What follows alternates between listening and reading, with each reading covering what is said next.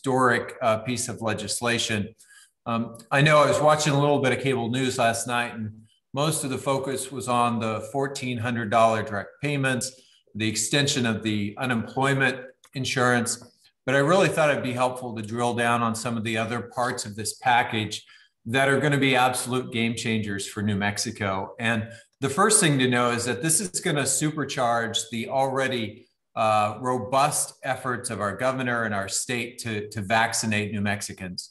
Uh, nationwide, there's $20 billion in this plan uh, that will allow the Biden administration to improve distribution and administration and production of vaccines. And in, in addition, it includes very specific provisions to support vaccine delivery to our veterans, to the VA, and to our tribal communities, to the IHS. Um, we're also going to greatly be able to expand testing, genomic sequencing of variants so that we can stay ahead of the variants, and contact tracing efforts, as well as manufacturing and procurement of PPE. So, in a very real way, I believe that today is the beginning of the end for this pandemic. It's also pretty amazing to think that this piece of legislation is literally the single greatest investment in Indian country in American history. Uh, we have to reduce the stark and, and incredibly persistent inequities in transmission and hospitalization and death rates. And this makes real robust investments to do that. $31 billion nationwide for tribes, uh, there will be well over a billion dollars flowing directly into the tribes in New Mexico. Uh, and this includes, in addition to the direct response to the virus, unprecedented levels of federal funding to increase access to clean water, electricity, broadband, the, the basics that we realized are so underserved uh, in too many tribal communities. Also, expanding the child tax credit is something that hasn't gotten quite as much uh, talk as I think it really deserves. And for New Mexico, it's enormous. Uh, we're looking at nearly every child in New Mexico, something like 95%, will benefit by expanding the child tax credit. Uh, taking that credit from $2,000 to $3,600 per child and making those payments monthly. So if you think about that, if you have a single mother who's out of work, who's got a four-year-old daughter and an eight-year-old son, uh, right now she would receive no child tax credit at all. Under this legislation, she'd receive the full tax credit of 3600 for her daughter and $3,000 for her son. That means $550 per month for the year. In addition, this legislation is going to help us safely open our schools.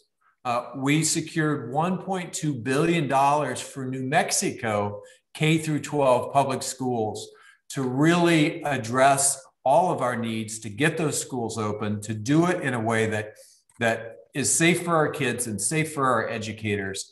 And 95% of that money is going directly to local school districts uh, on the ground for sick leave, for technology, for air filtration upgrades, for outdoor classrooms.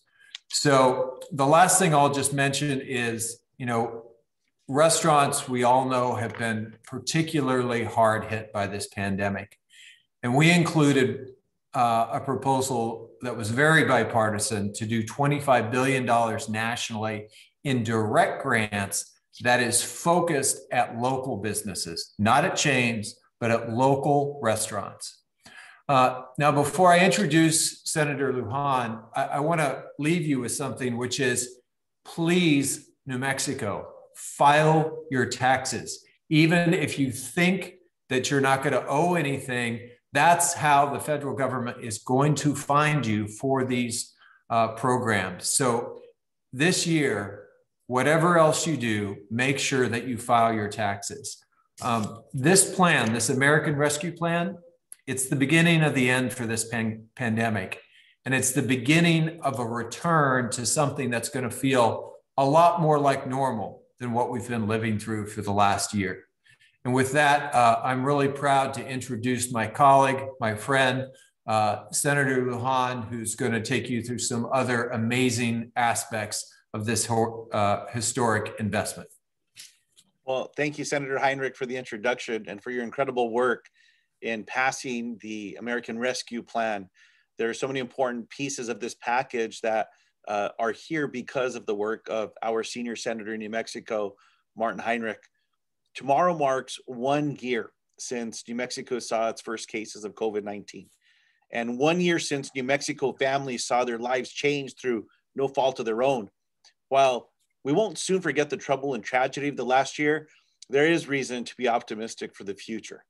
Vaccines are being deployed at a quickening rate to communities across the country, and New Mexico has become a national leader for vaccine administration, with more than one in four New Mexicans having received at least their first dose of the vaccine. And that's a credit to our governor, Michelle Lujan Grisham.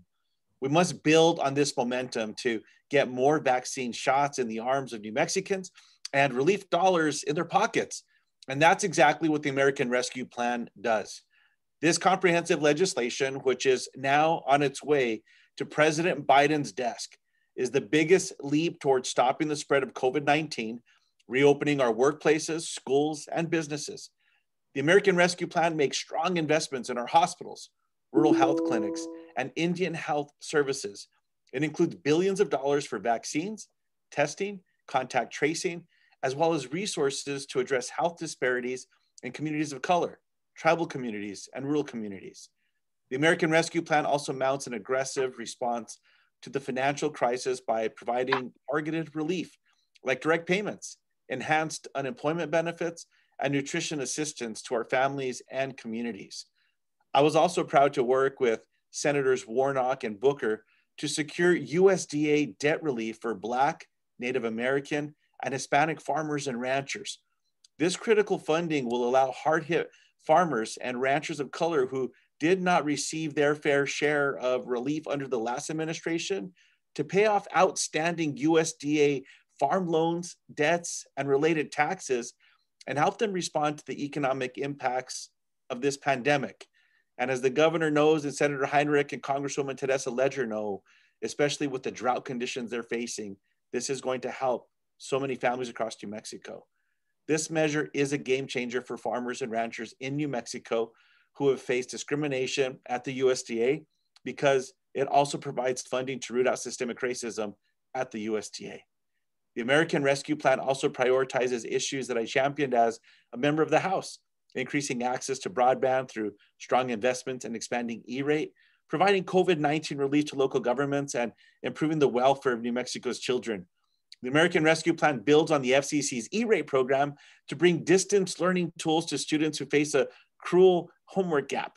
And it also supports investments in broadband deployment in areas that have been underserved by providers, namely rural and tribal communities. The American Rescue Plan provides relief for every small town, county, city, and village, not just to our biggest cities in America and in New Mexico. And as a member of the House, I introduced the Coronavirus Community Relief Act to provide robust relief to local governments. Senator Heinrich introduced that in the Senate. Now it's part of this package and it will be signed into law. Support for smaller communities will help keep essential workers like police officers and firefighters at the payroll and ensure residents do not lose essential service, including service for our seniors and the most vulnerable New Mexicans. Finally, the American Rescue Plan addresses a major shortfall of past COVID relief legislation by ensuring children are not driven deeper into poverty. Senator Heinrich highlighted this, and it's important that more families across New Mexico learn about this important program. The expanded and fully refundable child tax credit will put more money in the pockets of families, and 95% of New Mexico's children will see a benefit. You know, Republicans would have you believe that this help is going to people who don't need it. And I'm so disappointed that none of our Republican colleagues in the House or in the Senate voted for it. Republican colleagues in the House and Senate would say that the only worthy cause for spending $1.9 trillion is a tax giveaway to the wealthiest Americans and corporations. The people of New Mexico disagree. And we look forward to seeing this critical legislation signed by President Biden. I'll now turn this over to our good friend and our colleague, Teresa Leger Fernandez, who will share uh, her remarks with the important work she has done in just a few short months in the US House of Representatives. Teresa? Thank you so much, Senator Lujan and Senator Heinrich, for your work over in the Senate and getting the bill and turning it back over to us. What this bill represents is in many ways what we see government is working, right? The House, the Senate, the president are responding to the promise that we made to the American people to act boldly to rescue our country from the pandemic. And that's what we're doing. And so I wanted to talk about a few of those things that we are doing in delivering on that promise. You know, the pandemic's tentacles have infiltrated every single aspect of our daily lives. We know that, right? But the American Rescue Plan's brilliance is that it recognizes the complexity of the crisis and responds with help. In addition to the much needed funding for frontline workers, our farmers that Senator Lujan talked to about, and our schools, oh my goodness, the help that we are providing to our schools, especially our Title I schools, which you know serve New Mexico so well. This legislation provides New Mexico with nearly $2.5 billion to help our state, local, and tribal governments climb out of this crisis. $2.5 billion for those small villages, those small towns. And you know what? I've talked to the mayors and the local officials and the tribal leaders and the families across my district, Republicans and Democrats, right? And I've asked them, what do you need? What do you need to address this crisis? And this plan, it answers their request for direct payments, for help to open their fairgrounds and their small businesses. They're ready to receive this lifeline and put it to use. Oh, the Hispano and Native American farmers are ready for the USDA funding they need to sustain their farms. I'm especially proud of the provisions in the bill that will help our families and our children. We've talked about this, but we need to say it over and over again because it is so significant. New Mexico has one of the highest child poverty rates in the country. This bill will lift about 50% of these children who are living in poverty out of poverty. Currently, there are about 244,000 children in New Mexico who don't receive the full value of the child tax credit. With this bill's child tax credit provisions, we're putting those children first today. We also know that since the pandemic began, there have been increased reports of abuse of women and children. Well, this bill helps fund women's shelters and refuge. Our women workers, right, our women workers and entrepreneurs have especially been hard hit. They've lost their jobs in the front line, and they've also stayed home to care for their children and their parents. So the child care assistance funds will help women get back to work. The funds for our elderly centers, for our senior centers will help them so they know that they're, they're you know, the grand, grandparents are being taken care of as well. And we know that when children are learning, then their parents are earning. So New Mexicans told us what they need. We listened, and today we delivered for all Americans, New Mexicans, you know, Coloradans, Californians, Dakotas, all Americans are going to benefit from this day uh, that we've done and the, the signing that we're going to have. And then the great thing is this government working together, the House, the Senate, the presidency, we're going to also have a marvelous governor or state governor working to make sure that these provisions get implemented and that this money flows.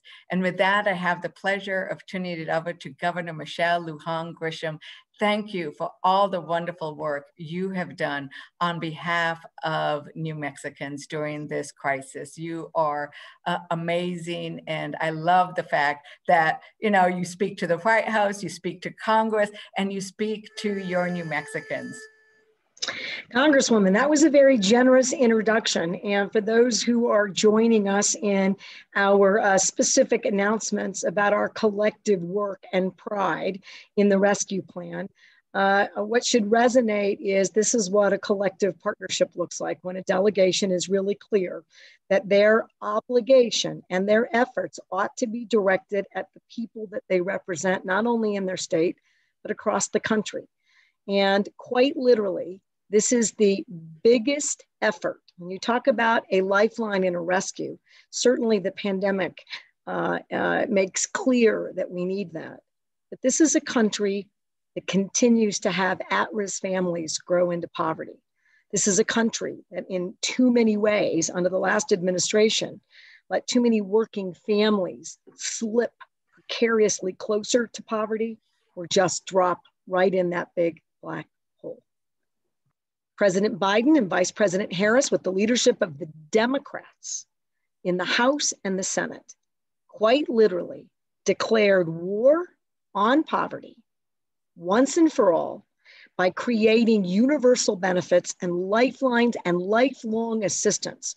So that when we talk about dropping the poverty rates and we talk about attacking those inequalities, we're talking about 25% of New Mexico families immediately, by virtue of your work and your votes, will be lifted out of poverty in New Mexico. There are no words to describe the impact that has on a state that has long had extreme and persistent poverty.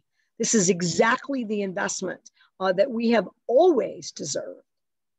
And we need now more than ever. And it is a time for not only great celebration, but it is time to make sure that we clarify and we talk to the individuals and the families, the advice to file your tax return, to engage with your uh, local elected officials, with your legislators, with your delegation, with your governor. Um, we are surviving this pandemic. With the American Rescue Plan, we don't just survive or hang on by our fingernails. We have the opportunity to rebuild, to regain, to readjust, we have the ability to go back to work. We can lift women out of poverty. Women were hit hardest, women own businesses. There isn't a single sector of New Mexico's economy. There's not a single working family in New Mexico who isn't going to benefit by these efforts. And then, as a governor, I'm really honored to be able to thank this delegation for making sure that we have the tools and resources to make sure that this is the safest state in the country in our response to the pandemic and any other public health risks or issues that might come our way ever again. And the last thing, these broadband investments and the direct investments to schools and to tribal nations, with the investments that we're going to get out of the legislature this session, this may be the best, frankly, the only opportunity to connect all of New Mexico once and for all, and to have a robust investment in broadband, and that makes us competitive economically and in education and in healthcare um, with all of our uh, uh, bordering states and the nation and the globe. And New Mexico deserves every opportunity to be that competitive. So there's nothing more I can add except that this is a day of incredible recognition and celebration.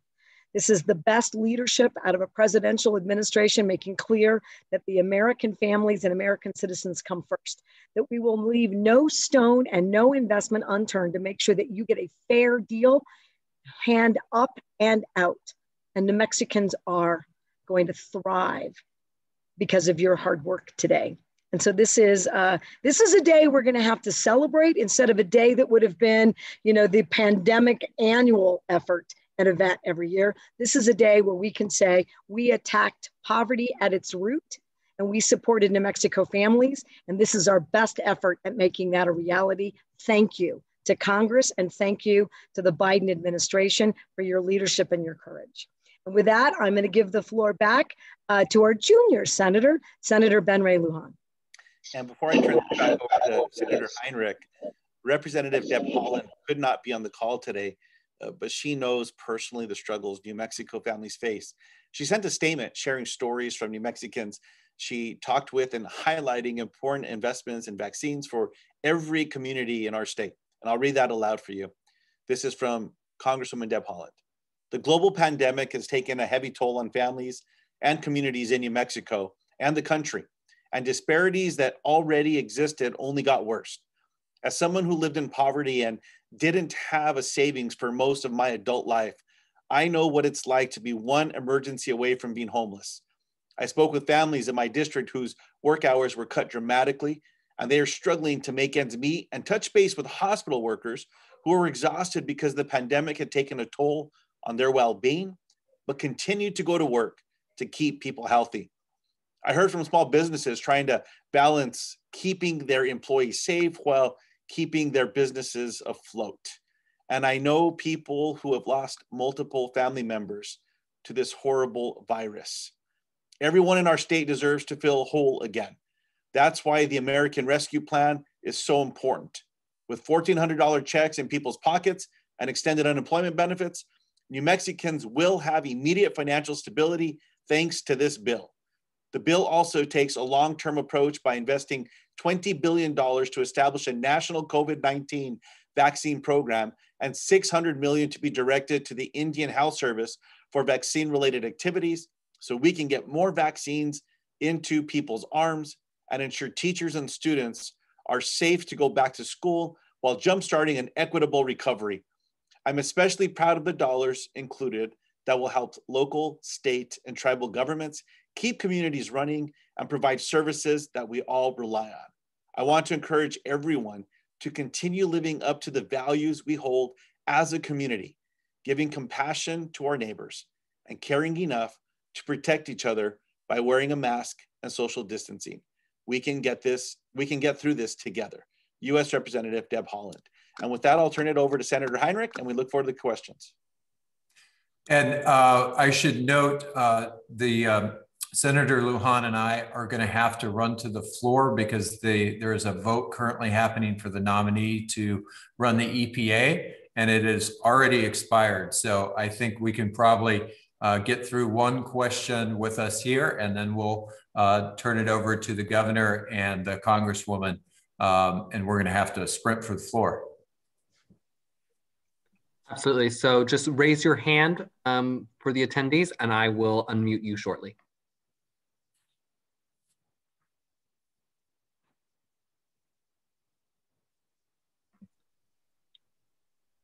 I have Ryan Boetel. I'm going to allow to talk. Ask your question, Ryan. Hi, members of Congress, Governor. Thanks for taking the time to answer our questions. Um, I wanted to uh, get as much detail as I can about how much money is coming to New Mexico as part of the package. Yep. Um, I, I, I, heard uh, 2.5 billion in local government relief, 1.2 billion in K through 12 education, and 1 billion to New Mexico tribes. Um, can, can I get as much detail as possible on that? Thank you. Ryan, we'll follow up. We're, we're literally still pulling all of that together.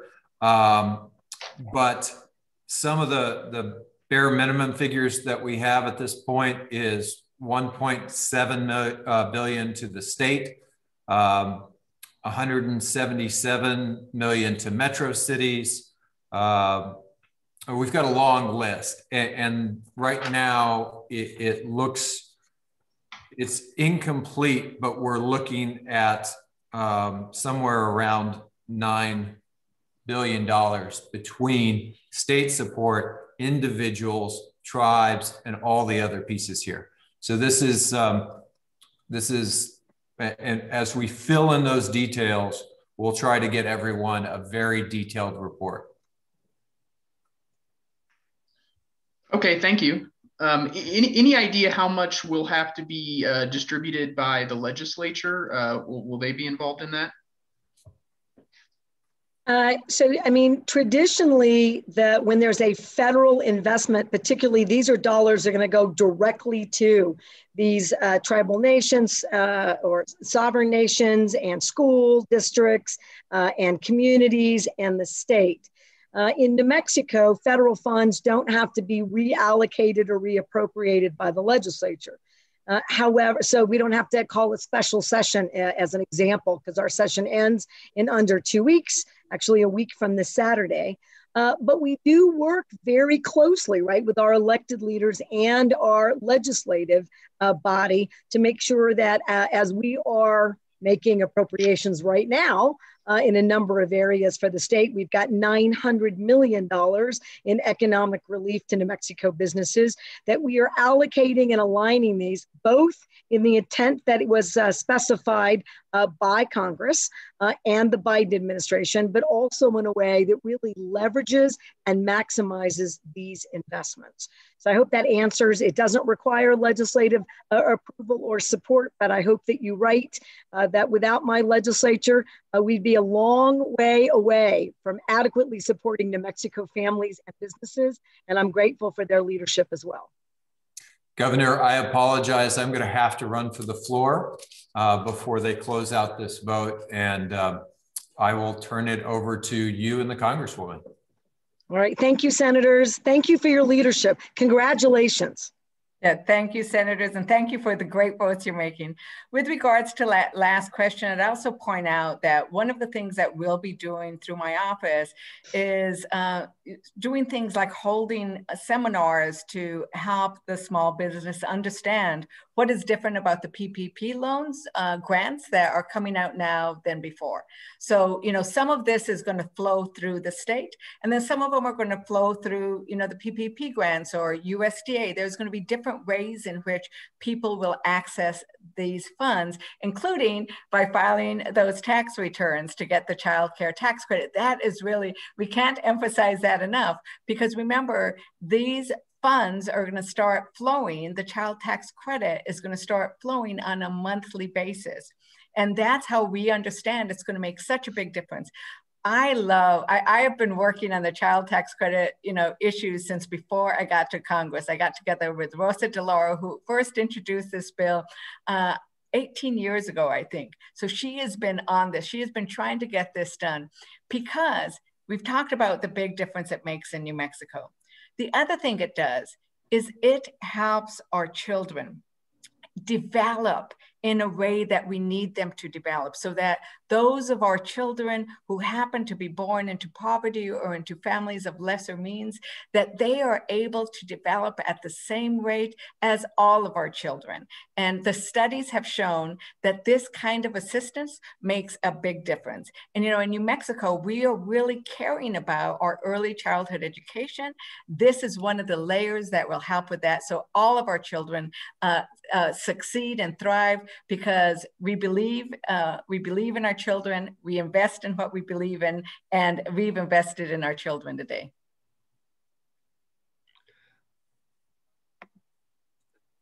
Thank you, Ryan. I am now going to open to Sean Griswold. You're now allowed to speak, Sean. Hello, thanks for taking my question today. Um, this actually, this question is for the governor. I wanted to get your thoughts and if you have a figure as to what the um, broad, this is related to broadband infrastructure and development.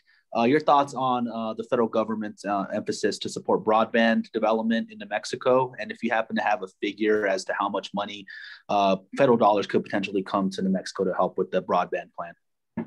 Well, uh, we do, um, and uh, and I'm not going to be as specific, frankly, uh, as you would like or deserve, as we're trying to figure out just exactly uh, where we can re-leverage uh, dollars in uh, the rescue plan benefit that comes to the state.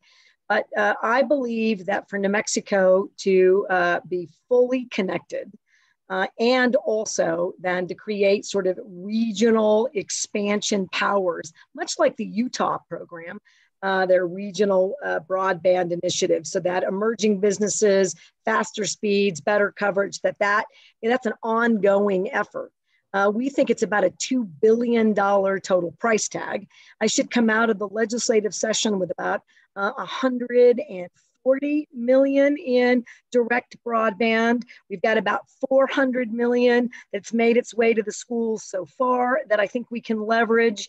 Uh, we've got um, several hundred million out of the rescue plan.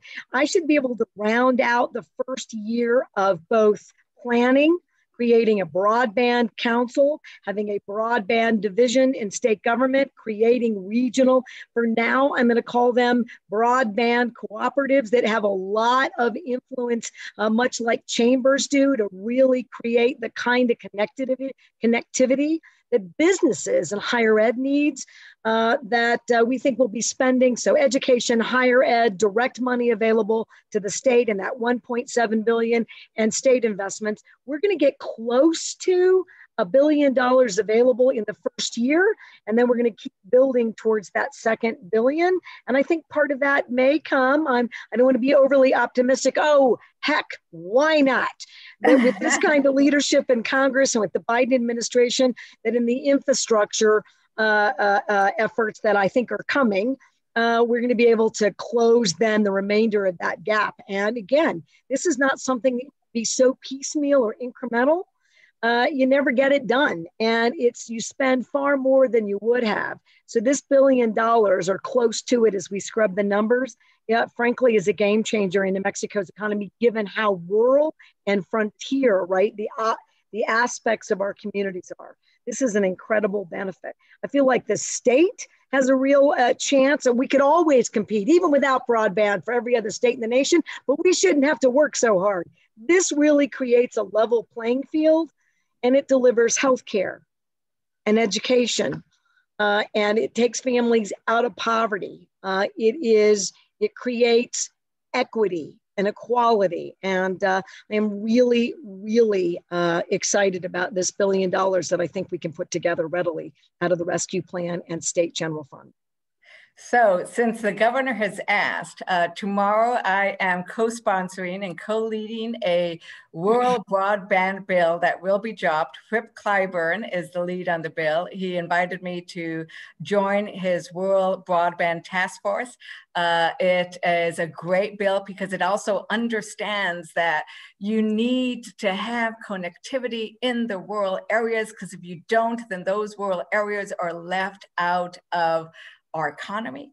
They're left out of our culture. There's, our children uh, are, are suffering, right? We all heard about the buses who dropped off the paper, you know, sheets of paper uh, because the children could not go to school uh, through the uh, through Zooms.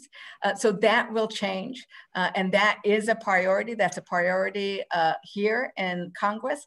we've heard it's a priority of the president, and so we are pretty confident that that bill will go somewhere and that there will be additional funding specifically for broadband.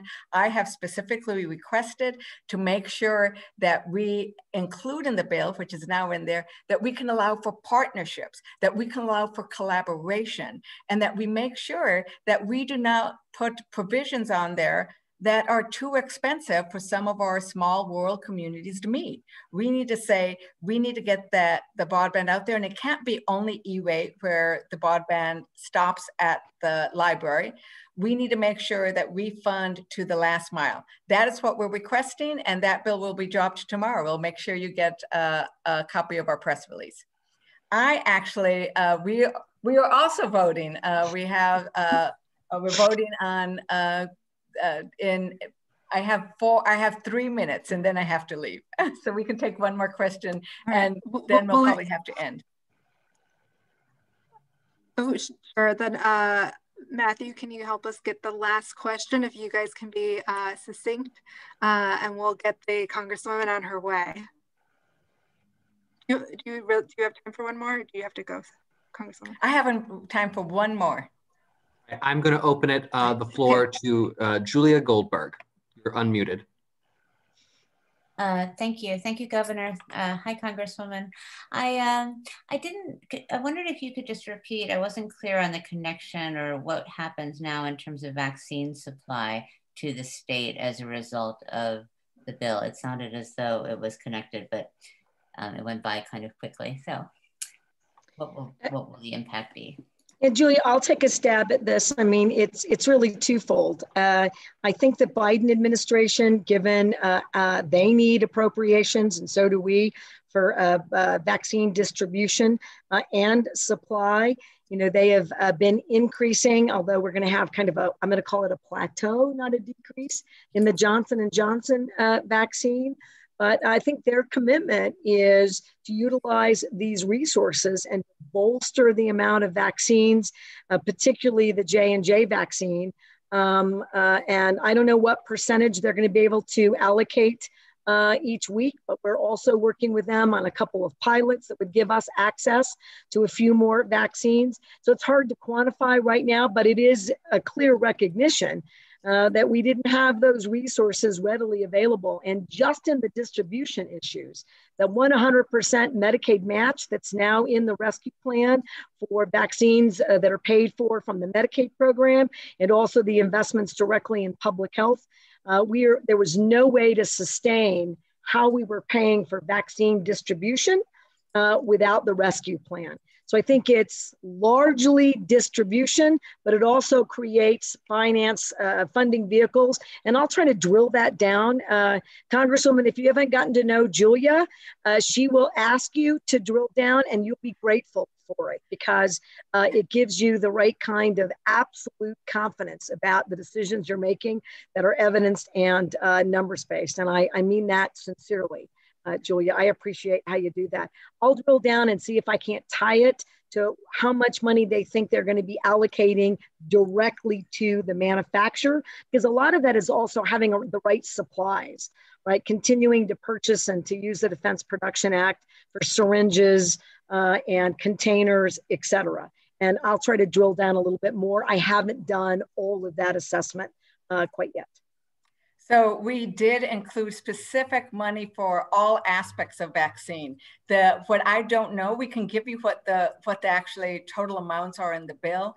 Uh, I can't tell you how much of that makes it to New Mexico, but since New Mexico is we get the vaccine, we put it in people's arms, you know, it'll go there, but it includes everything. So it includes money for the Indian Health Service because we need to make sure that that they continue their great job of getting the vaccine out, $600 million to the Indian Health Service, specifically related to vaccine, $5.2 billion to support research development, manufacturing and production, the purchase of vaccines, um, you know, a billion dollars to the CDC to undertake awareness, um, you know, and so on and on. We can get that to you, Julia, in terms of the numbers. What I also loved is that the bill, uh, this was something we did in House uh, Education Labor, where I sit, uh, where we spent 14 hours marking up this bill that is looking at the bill and deciding what provisions would stay in and what, what, what we were going to fund.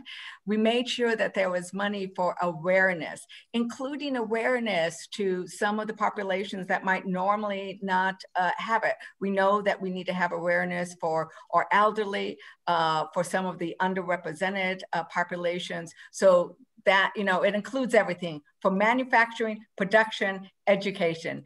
And thank you, Julia. I have had uh, the benefit of interacting with Julia over the Great. last two years and appreciate it. My uh, gratitude to all of you for, for uh, asking us questions, for coming here today. My gratitude to the governor and to the senators uh, for putting this all together. I think it's really important that New Mexicans hear as much as they can about what we're doing here, because the more they hear about what we're doing, the more they will take advantage of the money that we have uh, set aside and are sending, you know, out once the president signs this, which will be soon. That money is going to start flowing, and we want to make sure New Mexicans have access to it. They learn about all the different facets. I encourage you, if anybody is looking, uh, you know, I, I'm telling everybody, go to my website, put your questions in there, reach out to us. We are going to be asking New Mexicans to reach out to us if they have any questions. We're going to be doing uh, education around some of the aspects of these bills. So we uh, hope to be talking to New Mexicans a lot over the next few months everyone for joining today's event. Uh, thanks to uh, Congresswoman Leger Fernandez and um, Governor Lujan Grisham, as well as to Senators Heinrich and Lujan. Um, we will uh, be sharing a recording with you uh, in the next couple of hours. Thank you so much. Thanks, everyone.